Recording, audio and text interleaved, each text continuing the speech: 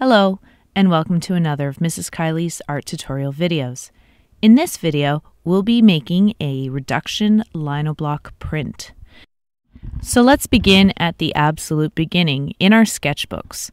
I first traced my linoblock so that my sketches would fit precisely into the space that I'll be working with. Uh, because my linoblock is a square, I thought a circular shaped linoblock print would be fun to work with. So I used some tracers uh, to get some circles that would utilize the most of the linoblock. And I also wanted to incorporate text in my linoblock so you can see what you have to do in order to make text work in this art form. Essentially, in your sketchbook, uh, you're figuring out what you're going to carve. And whatever you do carve, if there's text involved, it has to be the mirror image. So you have to figure out what your letters are going to look like flipped in reverse. And I found that my cell phone, when turned off, acted as a really good mirror. So occasionally you'll see me bring that onto the scene and I'm using it and I'm looking in the reflection of the black screen and seeing how my letters will look when they're backwards. I also, at the very bottom of my page, um, doodled it out, sketched it out uh, in the reverse. I also planned where the middle of my text is and I measured out how how much space each letter would take up. Because my family loves to travel through Canada so much, I have a theme of east to west with the Halifax lighthouses and the British Columbia uh, Rocky Mountains. I used a photocopy machine to make an extra copy to mess around with. I didn't want to ruin my original artwork. And I also used the tech to flip it around and reverse the image to get a sneak peek at what my print will look like. Uh, also, in your sketchbook in the creative process, you need to figure out what colors you're going to be working with because in reduction linoblock prints, the great thing about this art form is that you get to use more than one color um, compared to just your regular linoblock print where you might be just working with one color. So I chose, of course, our Canadian red and white and some black. And then I threw in some blue for sky, like a gray blue for sky and mountain colors. And I want you to color in your rough copy. So this uh, piece of paper will act as a mm, recipe, a guide, your plan of action to help you through this project. And without this complete and um, well thought out guide, you're you'd struggle without it. So it's very important that you figure out what you're going to color, what color, um, and how your lines are going to look, and also the order of the colors that you're going to print. For me, I decided to start with the color that I use the most to the color I use the least. Now, other people do it from the lightest color to the darkest color. Once your rough copy and plan is 100% figured out, then you can start moving on to your actual linoblock. And I like to use the graphite transfer technique as you see I'm working with here. This is simply take a scrap piece of paper, cover it in graphite pencil, um, and put it the dirty side face down on your linoblock. Then take your art, your your plan, and put it over top of that, line it all up, and I tape it just so things don't wiggle around on me. And then you trace over your drawing drawing. The graphite will transfer, as you can see there, uh, down onto your lino block, and you don't have to redraw anything, and everything's perfect. You don't have to do any planning on your lino block. It's a great, great transfer technique to use in this situation. Ta da! There it is. A tip for designing reduction lino blocks if you're a beginner artist, keep things simple. Uh, don't try for highly detailed, fine little uh, shapes. Keep them nice and big and easy to work with. Now, to the plan. Our first step is to carve everything that we want to keep white. So that's the top of the mountains, the corners around the circle, and the lighthouse. Let's do it. This is a carving handle. Um, on one side, you have the hole where you put the blades with a half circle uh, space to insert them. And most kits come with a little variety of blades. Uh, they come in all different shapes and sizes. Uh, some are tiny for little fine details, and others are like big snow shovel plows and will clean out large areas. So you just get used to working with them. Most important tip here, people Carve parallel with your hand, not towards it. These blades are sharp enough to cut. So, I want you to imagine yourself as a pelican gently swooping along the surface of the water. We are not going to cut like seagulls as we dive in for fish, just nice, smooth cuts along the surface. Use the handle as like a lever to control how deep or how lightly you carve along the surface. I'm not going to speed up the video for a little bit now. I want you to see just how carefully I carve this top right hand corner. I have a nice big scoopy blade. I'm starting in an area that's really safe. I'm using air quotations that you can't see. Uh, a safe place to kind of get the hang of carving this surface. There's all different types of lino blocks that you can purchase that are made of different substances and different thicknesses, from really, really hard wood to super soft, rubbery uh, blocks that when you carve, it's like carving through butter. I've got this uh, type of lino block that almost feels like old cheddar. It's not super rubbery soft and it's not super hard like a piece of wood. Uh, the different types of textures give you different type of prints. Uh, the very hard, stiff, um, lino blocks give you sharp edges, and the rubbery ones are a little bit more softer and um, give you softer edges. Whenever I do a lino block print, I try to take into consideration uh, my carving direction since this piece is circular in nature, I want my uh, cuts to be circular as well. So I'm going to mirror and mimic that line, the outside line of my uh, circle. And when I carve into the mountains, I'll try to keep that feeling of the mountains' directions and so on and so forth. If you're carving something like an animal that's doing an action, then perhaps your carving marks can mimic and reinforce and uh, repeat that idea of movement that the animal's creating.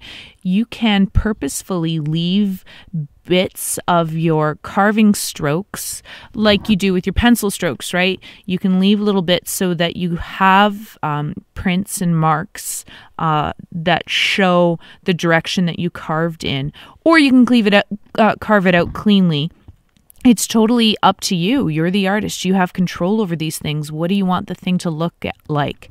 My recommendation is to go on Google Images and go look at what other artists have done with reduction lino blocks and see what the art style looks like, what other people have done, um, and just kind of get some inspiration and ideas and just a general idea of what your end product is going to look like because there's so much out there. Um, by no means, though, am I re- recommending that you copy another artist's work but it doesn't hurt to see uh, what it's going to look like, right? So here I am carving around the letters, and this is probably the hardest part of my lino block carving session because it just has to be perfect. That's font for you, that's letters. You know, if you mess up, then the letter changes and it doesn't look right. So it has to be perfect. So I'm using a number one, I'm really careful, I'm outlining, I'm clearing, and I'm doing it uh, really, really slow. I've sped this video up quite a bit. But you know, the more time, the more care you put into this part of the art making, the better your print will be.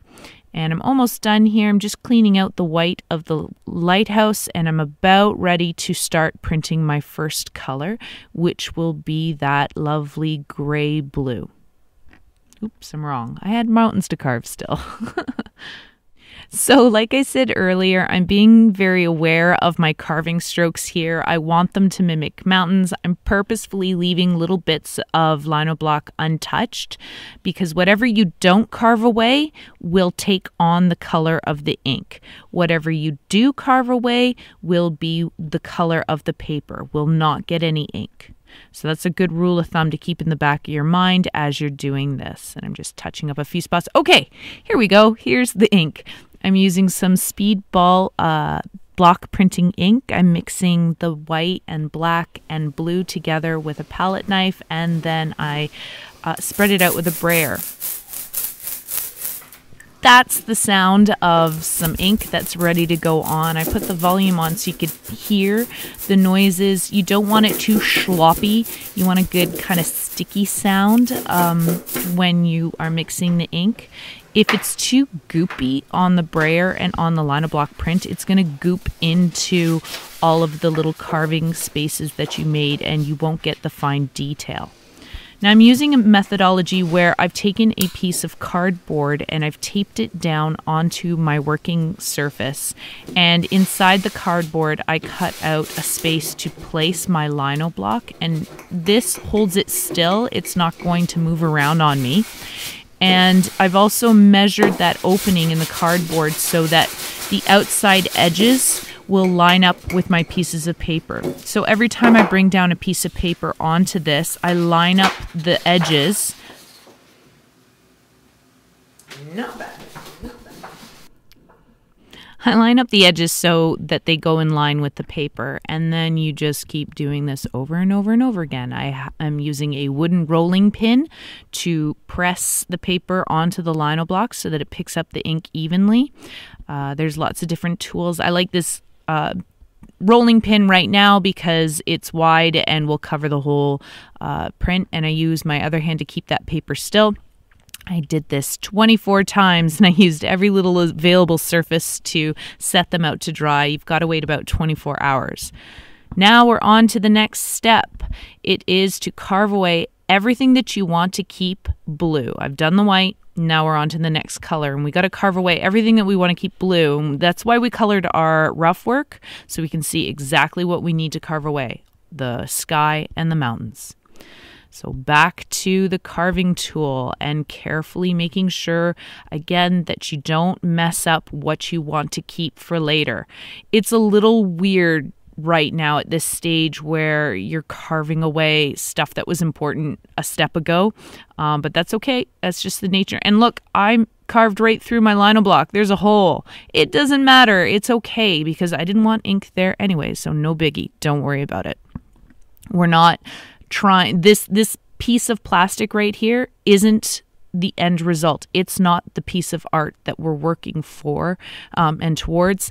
It is the tool that we're using to create the art. And we can abuse this tool as much as we have to to get that good little bit of art. So now I'm just leaving um, everything that I want to keep red and printing with the red Sometimes when you make plans in your sketchbook, they seem like a great idea down with paper and pencil, but when you're actually working in lino blocks, it doesn't uh, communicate as well through this medium. And so I had to revise a couple things and carve out the marks in the mountains that I was going to leave for black for later.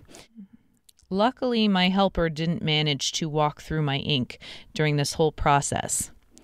So we're nearly done with the red. I won't show you every single print that I did, but let's say there were lots. Now, our final step, we have to carve away everything that we want to keep red. That's the round red circle and the top of the lighthouse, which leaves us everything that we want to print black. I changed tools as I was doing this process here. I tried the rolling pin, but I found that it was too wide. It was too big for the small strip of text and the two little lights in the lighthouse. Then I used my fingers and I just pressed down, but the ink wasn't working and transferring as well as I'd like. And so I tried out this wooden spoon and it turned out to work out perfectly. So find all the wooden utensils from your kitchen and use them in printmaking because they they're really good. They're not so bad. I liked this wooden spoon. It helped me apply pressure exactly where I needed to, um, right over the letters and the windows of the lighthouse, and nowhere else. I was also really careful when I used the brayer to apply the ink to this lino block. I didn't want to get it anywhere else. I wanted to keep the rest of the print as clean as possible. And there you have it. Not too bad. And so this is the end of the printmaking process here. Everything's going to be drying for the next few hours. There were a lot of them, and some were better than others. And that is exactly why we make multiple copies because, as you figured out now, there's no going back. We can't go back to the red stage and we can't go back to the blue stage. I think this is one of my better prints, and I'm going to sign and date it. And there's a special way of doing that in printmaking. In the bottom left hand corner, you are going to put a number um, out of the number of prints that you created. So I made 24 prints, and this is my first one, so it's one out of 24. Then you're going to title it, and I'm keeping with my theme of Across Canada, and I titled it From East to West. After the title, you put your signature and then the date. The whole reason that I'm working in pencil for this is traditionally um, that's how it's done. Also, uh, reproducing a pencil mark in a computer is a lot harder to do, and that makes your art less vulnerable to fraud. That being said, I was sorely tempted to clean up all the little mistakes and uh, glitches in this print with my Photoshop abilities but I resisted. I have given you and shown you exactly a truthful print without any modifications, and here it is. I hope you enjoyed this video. Feel free to leave your questions, comments, or compliments in the box below. Please click on like and share if you found this video at all helpful. And don't forget to subscribe to my channel. There'll be more videos coming. Thanks for watching my reduction lino block tutorial video.